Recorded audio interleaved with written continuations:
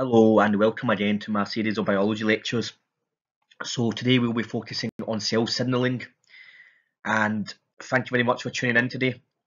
It's, I hope you've enjoyed the previous lessons on DNA mutations, transcription, translation, etc. and how to write essays and exam tips, etc. So let's begin. So firstly, let's focus on what is cell signalling. So cell signalling is the process by which cells communicate with other cells within their body or within the external environment. This can happen via either direct contact by releasing certain substances which are taken up by other cells. This is a very important factor in life and the cells receive signals and they can respond to the extracellular environment which allows growth, development and immunity. This can occur via various pathways because multicellular organisms require cell signalling to allow different functions. To give an example, nerve cells can coordinate with muscle cells to help in body movement. So cell signalling can be either intercellular as well as ext as well as intracellular. So intracellular signals are produced by the same cells that receive the signals. In comparison, intercellular signals travel throughout the body this permits specific glands to produce signals that act on different tissues. So let's look at the type of cell signaling molecules we have. We have five types. We have intercrine ligands, autocrine ligands, juxtacrine ligands, paracrine ligands, and endocrine ligands. So intercrine ligands, these are produced by the target cell and bind to the receptor within the cell. The autocrine ligands, they function internally and on other cell target cells, for example, immune cells. The juxtacrine ligand, these target the adjacent cells, cells that are next to one another. The paracrine ligands, these target the cells in the vicinity of the original cells, such as neurotransmitters. And endocrine ligands, these produce hormones. So looking at this slide, you can see that cell signaling can be defined by a distance between cells so you have the direct intercellular, intercellular signaling, the contact dependent signaling, the autocrine signaling, the paracrine signaling, and the endocrine signaling. So cell signaling pathways can be either mechanical or biochemical. This is categorized based on the distance it must travel. Given an example, hydrophobic ligands, which include steroids and vitamin D3, they can move across the plasma membrane via diffusion of target cells and bind to intercellular cells. Now, if you look at hydrophilic ligands, these bind to receptors on the surface of the cell and are amino acid derived. This permits the signal to pass through the aqueous environment of our body without any assistance. There are different types of cell signaling which include paracrine signaling, autocrine signaling, endocrine signaling and direct contact. So let's look individually at the type of cell signaling.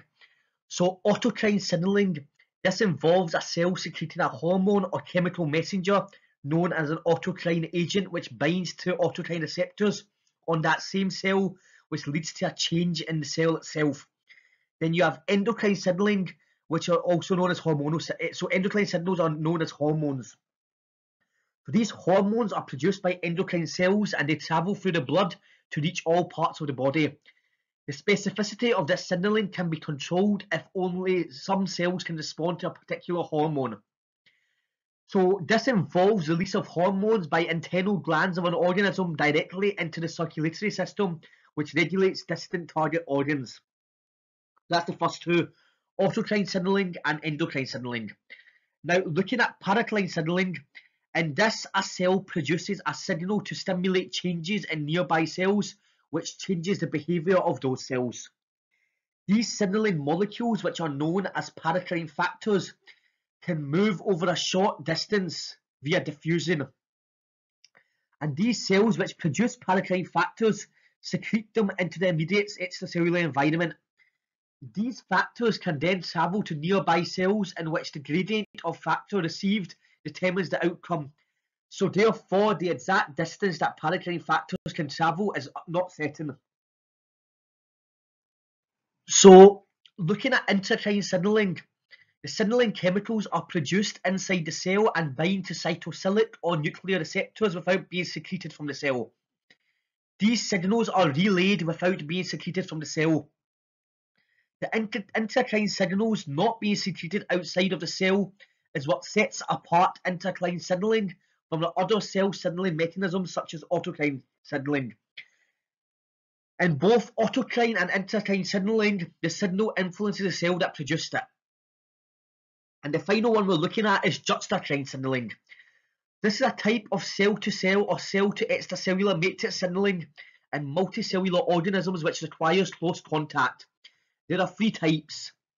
A membrane ligand, such as protein, oligosaccharide, or lipid, and a membrane protein of two adjacent cells interact. A communicating junction, which links the intercellular components of two adjacent cells, which permits transmit, which, which permits transit of relatively small molecules and an extracellular matrix glycoprotein and a membrane protein interact. Recap and summarise the types of signaling. The autocrine signaling is where the cell targets itself. The paracrine signaling is where signaling cell produces a signal for nearby cells. The cell-to-cell -cell or juxtacrine signaling is where cells are in direct contact with each other. And the endocrine signaling is long-distance signaling, where the signaling cell produces hormones which enter the bloodstream and have an effect somewhere within the organism. And finally, we'll be having a look at cell surface receptors. So you have the intercellular receptors, which are common types of cell signaling receptors located within the cell within the cytoplasm. So these are of two types, nuclear or cytoplasmic. Nuclear receptors are special classes of proteins with diverse DNA binding domains which form a complex of thyroid hormones which either enter the nucleus and regulate the transcription of a gene. In comparison, ligand-gated ion channels, these permit hydrophilic ions to pass the plasma membrane. So when a neurotransmitter such as acetylcholine binds to it, ions cross the membrane and allow the neurofiring to take place. With regards to G protein receptors, these receive signals from various groups. So this occurs when a ligand binds to the receptor.